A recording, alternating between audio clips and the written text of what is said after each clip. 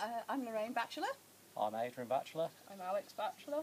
Uh, we've just spent a week in July here and it has been absolutely fabulous. The cottage is wonderfully appointed, everything we could possibly need, and the sport, pool, spa, sauna, steam room are just excellent. We couldn't have wished for a better, better week and hoping to come back again. Location was really nice. The owls shout at you. Don't really want to leave. So if you're ever thinking of selling it, let us know. Yeah.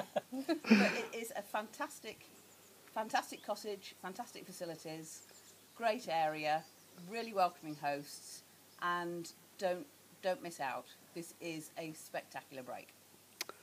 Thank you very much.